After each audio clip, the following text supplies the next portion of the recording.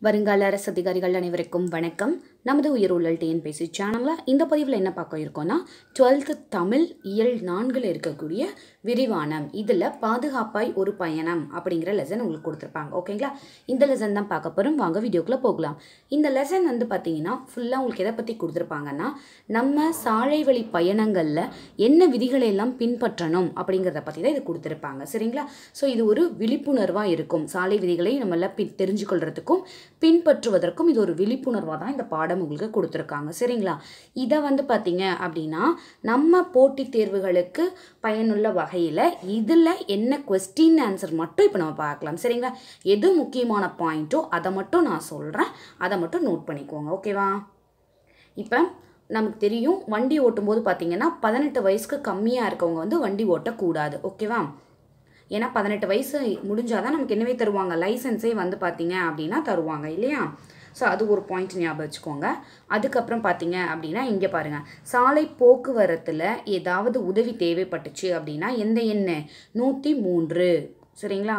சாலை போக்குவரத்து உதவிக்கு என்ன தொலைபேசி எண்? நூற்றி மூன்று. அதை ஞாபகம் வச்சுக்கணும். அடுத்தது பாருங்கள் நம்ம நாட்டில் வந்து பார்த்திங்கன்னா உலகத்திலேயே அதிக சாலை போக்குவரத்து வசதிகளை கொண்ட ரெண்டாவது பெரிய நாடு எது அப்படின்னு கேட்டால் இந்தியா தான். ஓகேவா உலகத்திலேயே இரண்டாவது பெரிய சாலை போக்குவரத்து கொண்டுள்ள நாடு எதுன்னு கேட்டால் இந்தியா தான்.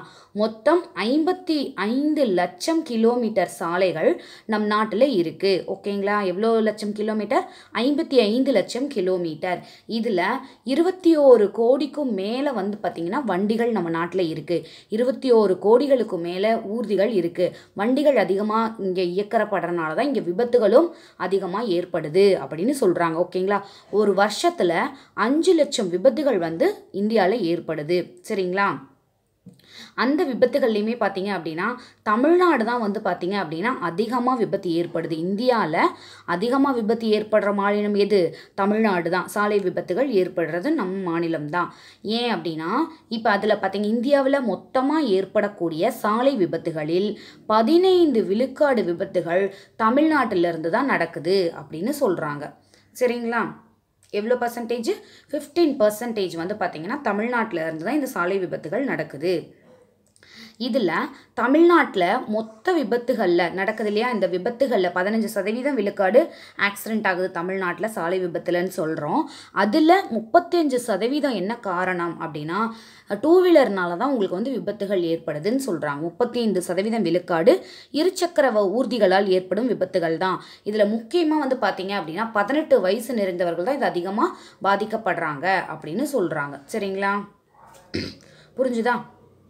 இப்போ இந்த பாக்ஸ் பார்த்துக்கோங்க இந்த பாக்ஸில் பாருங்களேன். பாரிஸ் ந நகரத்தில் ஆயிரத்தி தொள்ளாயிரத்தி ஒன்பதாம் ஆண்டு தான் முதல் முதல்ல வந்து பார்த்திங்கன்னா பன்னாட்டு சாலை அமைப்பு அப்படிங்கிற மாநாடு நடந்துச்சு. எந்த வருடம்? ஆயிரத்தி தொள்ளாயிரத்தி ஒன்பதில். அது எதற்காக அப்படின்னா சாலைகளுக்கு அதாவது சாலை விதிகள் அப்படின்னு சொல்லிட்டு பொதுவாக ஒரு உடன்படிக்கை வந்து போட்டாங்க. இதில் என்ன சொல்லுவாங்க அப்படின்னா இப்போ நீங்கள் எந்த நாட்டுக்கு போனீங்கனாலுமே இப்போ அந்த லாங்குவேஜ் தெரிஞ்சிருந்தால் அங்கங்கே போர்டு வச்சுருப்பாங்க. நம்ம படித்து தெரிஞ்சுப்போம். அப்படி படிச்சுக்க தெரிய முடியாதவங்க என்ன பண்ணுவாங்க அப்படின்றதுக்காக தான் என்ன சொன்னாங்க? குறியீடுகள் அப்படிங்கிறத கொண்டு வந்தாங்க. ஒவ்வொரு சிம்பிள் வச்சுருப்பாங்க. நமக்கு தெரியும் இல்லையா? இப்போ வந்து அந்த இடத்துல பாலம் இருக்குது அப்படின்னா பாலத்துக்குரிய சிம்பிள் வச்சுருப்பாங்க. இதே வந்து பிளாட்ஃபார்மில் வந்து நடந்து போகணும் அப்படின்னு சொன்னால் இப்போ நடக்கிறதுக்கு அது மாதிரி பார்த்தீங்க அப்படின்னா சிம்பிள் உங்களுக்கு அங்கே வந்து வச்சுருப்பாங்க. கரெக்டாக சிக்னலுக்கு பார்த்தீங்க அப்படின்னா சிங் சிக் இது வச்சுருப்பாங்க. சிம்பிள்ஸ் இருக்கும் இல்லையா? ஸோ அதை தான் சொல்கிறாங்க ஒவ்வொன்றுக்குமே எல்லாரும் புரிஞ்சிக்கக்கூடிய வகையில் குறியீடுகள் வந்து அமைச்சாங்க. இந்த உடன்படிக்கையின்படி அப்படின்னு சொல்கிறாங்க பொதுவான சாலை விதிகள் வந்து அமைச்சாங்க அப்படின்னு சொல்கிறாங்க புரிஞ்சுதா? அதை தான் இங்கே சொல்லியிருப்பாங்க ஒவ்வொன்றுக்கும் இப்போ இது பாருங்கள் மோட்டார் வாகன சட்டம் எந்த வருடம் அப்படின்னு பார்த்தீங்கன்னா இரண்டாயிரத்தி பதினேழாம் வருடம் இயற்றப்பட்டது. மோட்டார் வாகன சட்டம் நம்ம நாட்டில். இதன்படி என்னென்னலாம் சொல்லியிருக்காங்க அப்படின்றத பார்த்துக்கோங்க. சும்மா ஒரு ஓரலாக தெரிஞ்சுக்கோங்க போதும்.